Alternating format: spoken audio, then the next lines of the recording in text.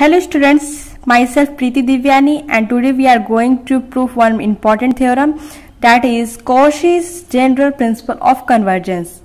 And the theorem is a necessary and sufficient condition for the convergence of a sequence Sn is that for each epsilon greater than 0, there exists a positive integer m such that of Sn plus p minus Sn less than epsilon for all n greater than equals to m and p greater than equals to 1.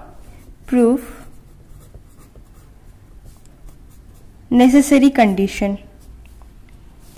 Let Sn be a convergent sequence. Convergent sequence which converges to a limit L. Then we have to show then we have to show that there exists a positive integer m such that mod of Sn plus p minus Sn less than epsilon for all n greater than or equals to m and p greater than or equals to 1 okay? In necessary condition we are going to prove that Sn be a convergent sequence which is converging to a limit L. So we have to show this only. Okay? Now since the sequence Sn is convergent to L. Therefore therefore by definition by the definition of convergent okay? So thereby so therefore so therefore by definition for any epsilon greater than 0 there exists a positive integer m such that mod of Sn minus L less than epsilon by 2 for all n greater than is equals to m. Give it 1. Let p be any integer. Now we are letting that p be any integer which is greater greater than or equals to or equals to 1 then n plus p is greater than n. Oh. Something is added to n. It must be greater than n so give it star dash. And from here we know that n is greater than is equals to m. So this is star double dash. From star dash and star double dash we get that n plus p is greater than m so that from 1 from 1 n plus p minus minus l minus l less than epsilon by 2 as n plus p minus sn is equals to Sn plus P minus L plus L minus Sn. I just insert minus L and plus L in between this. Okay. Now we have to separate it. Sn plus P minus L plus L minus Sn. After separation minus L plus L minus Sn. Again is goes to SNP minus L plus Sn minus L because we know that mod of minus x equals to mod of x from here. Now this is this term is less than epsilon by 2 and this is also less than epsilon by 2 after solving we get epsilon only. Then mod of snp minus sn less than epsilon. For all n greater than equals to m and p greater than equals to 1 so now we are going to prove the sufficient condition. Sufficient condition is suppose Sn Pn is sequence which satisfies the condition mod of Sn plus P minus Sn less than epsilon for all n greater than equals to m and P is greater than equals to 1. So this time this is given. Now we have to show that the sequence Sn is convergent and for this we have to only show that the sequence is bounded and con converges to a limit by the given condition let epsilon is equals to 1 there exists a positive integer m naught such that mod of s m plus p minus sn less than 1 for all n greater than is equals to m naught and p greater than is equals to 1 give it equation 1 in particular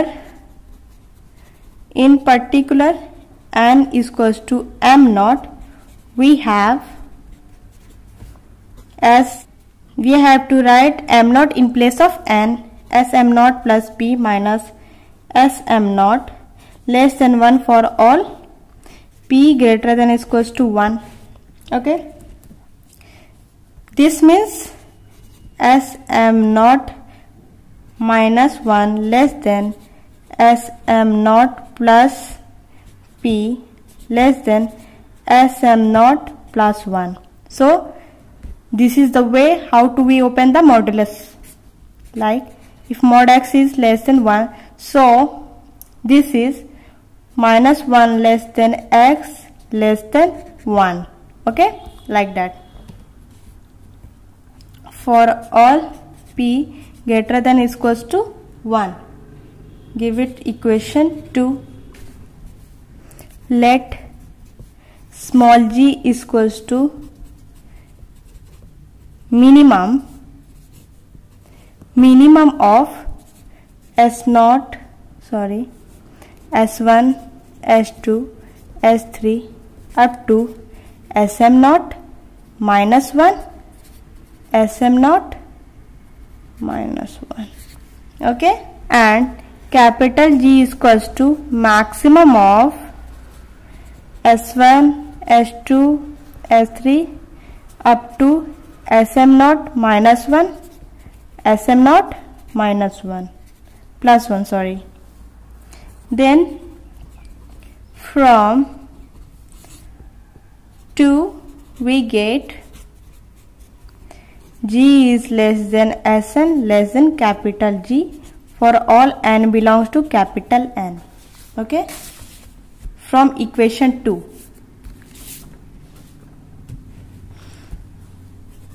This shows that the sequence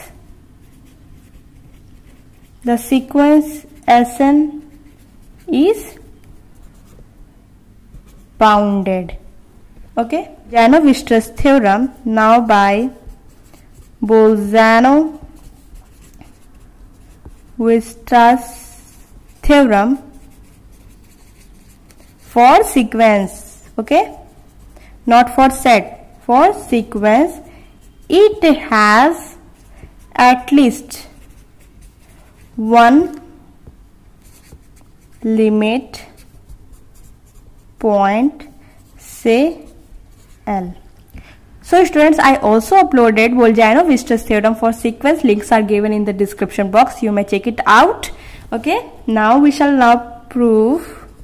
We shall now show that the sequence, the sequence Sn converges to L okay So by Bolzano-Weierstrass setup for sequence, we know that if sequence is bounded, it must contain at least one limit point. So we are assuming that it is L. In particular, in particular, n is equals to m, then from 1, then from 1 we get mod sm plus p minus sm less than epsilon by 3 for all p greater than equals to 1 equation 3 so this is so this is equation 1 we just assume that n is equals to m here. Okay? After that since l is a limit point. Therefore there exists an integer m1 greater than m such that sm1 minus l less than epsilon by 3 is assume it 4 also m1 is greater than m therefore from 1 we get as m1 minus sm less than epsilon by 3 give it equation 5 for mod sm plus p minus l is equals to sm plus p minus sm plus Sm minus Sm1 Sm1 minus L okay less than is equals to 1 Sm plus P minus Sm plus mod Sm minus Sm1 plus mod Sm1 minus L equals to Sm plus P minus Sm Sm minus 1 minus Sm plus Sm1 minus L.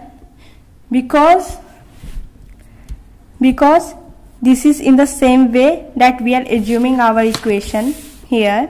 Sm plus P minus Sm but here Sm1 minus L and Sm1 minus Sm for that I just change the pattern Sm1 minus Sm okay? Now this is less than what?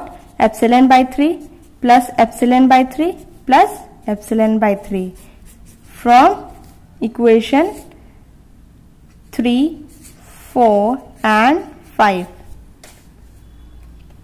This means sm plus p minus l less than epsilon for all p greater than equals to 1. This implies s n minus L less than epsilon for all n greater than equals to 1 for all p greater than equals to 1. So guys this is a proof of Cauchy's general principle of convergence the both necessary and sufficient condition. I also uploaded BSC's and MSC's important theorem. You may check in my description box all links are given below and if you like my video please like share and subscribe and hit the bell icon. Thanks for watching my videos.